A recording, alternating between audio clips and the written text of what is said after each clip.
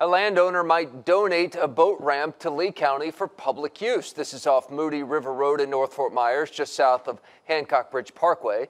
NBC2's Amelia Fabiano found out why some neighbors are not happy about the idea.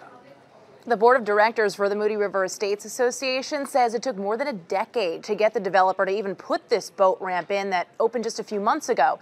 Now, some homeowners tell me they feel blindsided. I'd be ready to move. That's the reaction of some who own homes in Moody River Estates if their private boat ramp becomes public. Can you imagine an entrance with everyone blocking it during a holiday when you've got hundreds and hundreds of people utilizing it? The estate's board of directors explained in a statement these residents have waited more than a decade for this boat ramp to open, even turning to a legal battle with developers to get it. For 10 years, I've been here waiting for this thing to open. It finally opens, and now they're going to give it away. The cost to maintain the boat ramp is included in homeowners association fees. Residents say it had been advertised as an amenity before it was even built. One of the biggest sales pitches that we got from DR Horton was, "Oh, this includes a boat ramp. You can put uh, put your boat in it. I have a kayak, and that was a selling point for me." Lee County Manager Roger Desjarlais tells NBC2, "We understand that not